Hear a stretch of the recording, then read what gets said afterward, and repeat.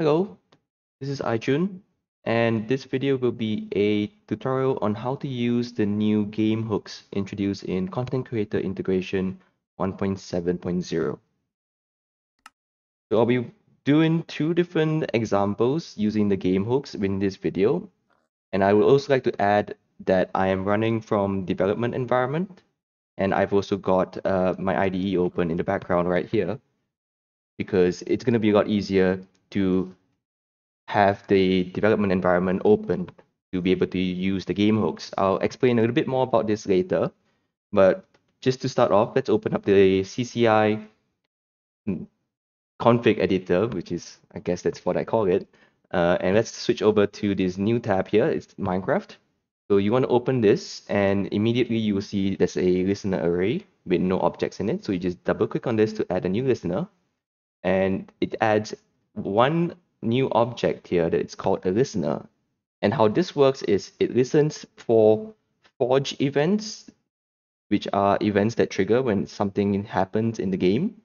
And for this example, the first example we'll be doing, I'm going to be listening for uh, the living death event. So that's an event that triggers whenever a living entity dies.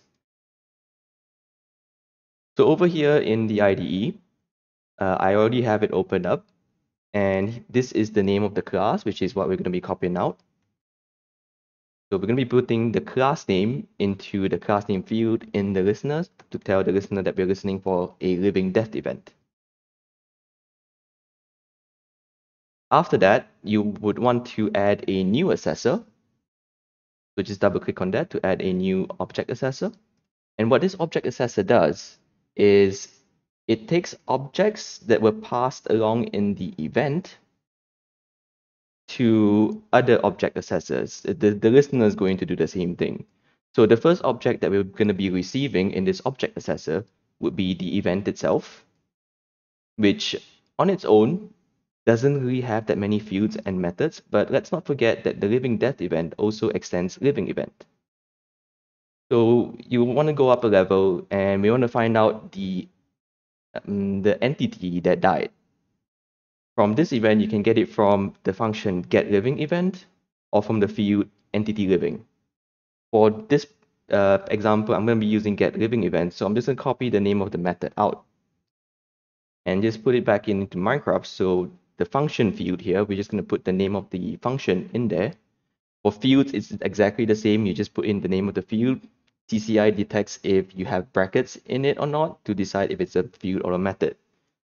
So what this does is it's going to take the entity living that died in the event and pass it along to this object accessor. So this object accessor will have the entity living. And then from there, we want to find out the name of the entity. So we want to create another set of object accessors which pulls in to the name of the entity which you will find in living entity, the function called get name. So you just want to copy that out, put that in there, and then now you have a new object called the uh, well the new object iText component, which isn't exactly something that CCI can understand. So you got to try and dumb it down even more.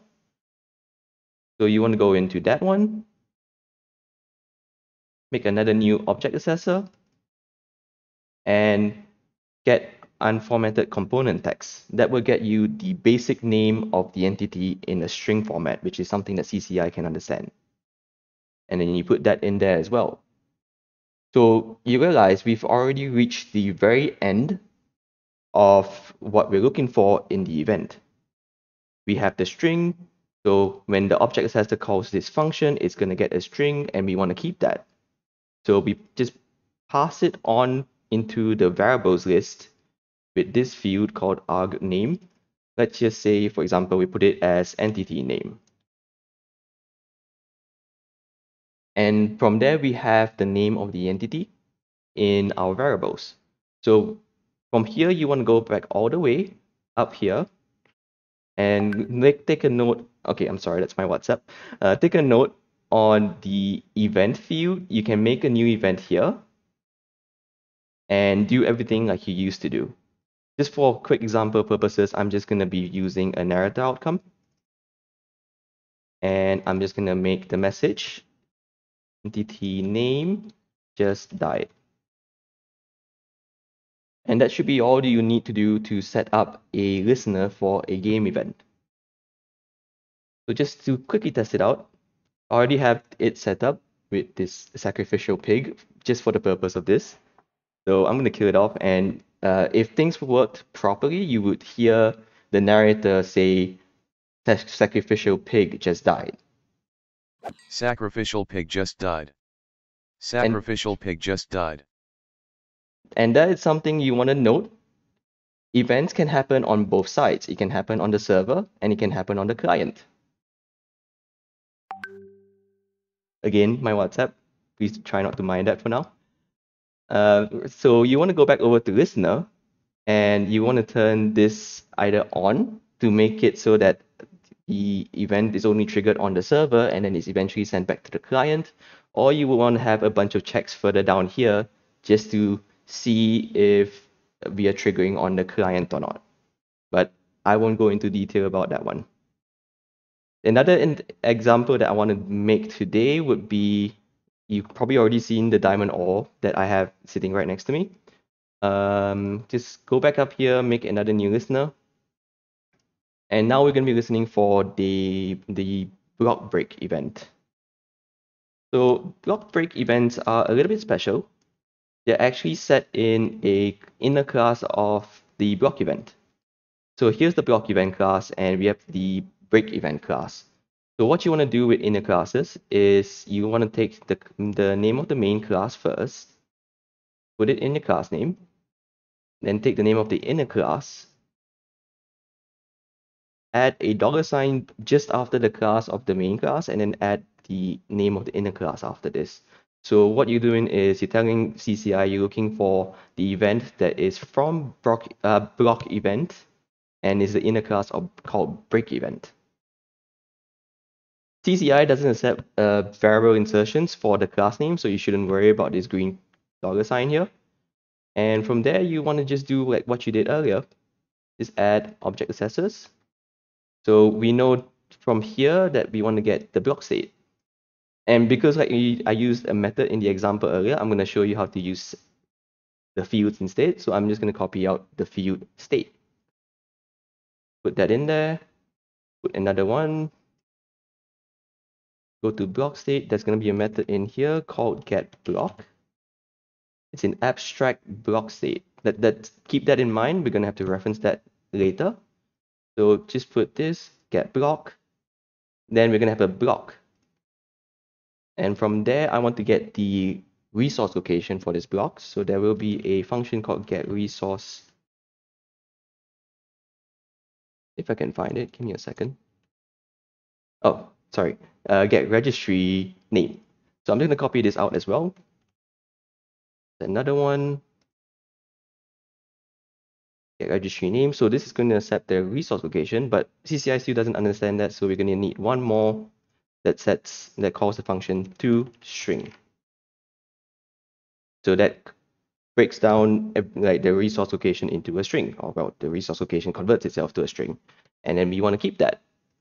So let's just go with block name. And then we go back to the listener, we go to the event. This time I want to check for a specific block because we're going to have all the different blocks that we're breaking let's have a variable condition or variable check and we check for um, what was it block name we check the variable block name and we want Minecraft diamond ore so should that condition pass we have an outcome I'm going to be using narrator once again and it's just going to say diamonds so should that work perfectly fine as well? When we break this diamond ore, we'll hear the narrator say diamonds. Diamonds. And there you have it. So that's how you like to set up game hooks in a development environment.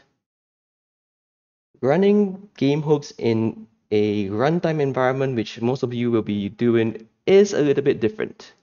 And I'm just going to go back to this example right here. For those who are unaware, Minecraft is obfuscated in runtime and uh, Forge FML, it kind of deobfuscates the code, but it uses different names from what's set in development environment. So we were at block event earlier. This is a Minecraft Forge class, so this class would not be obfuscated. But the next level down, block state, is a Minecraft event, which means all the functions and the fields will be obfuscated.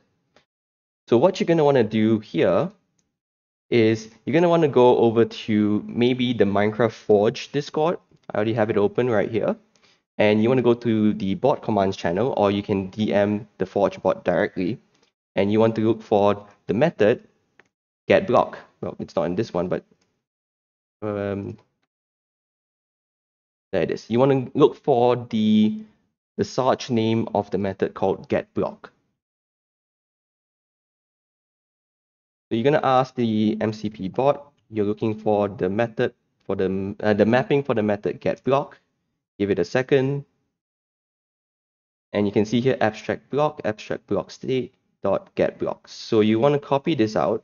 This is the name that will be used in runtime. And then go back to CCI. So instead of using get block, you want to use the name, the mapping that you just used, and just slap on the brackets after that to make sure that CCI knows it's a method. Then you want to do the same for every other method in here. Get registry name is a Forge edition, so you do not need to remap that one.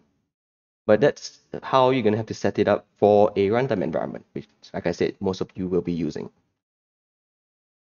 So that is the basics of how you would like to set up um, the game event hooks for CCI. As I, as I mentioned, it's introduced in 170.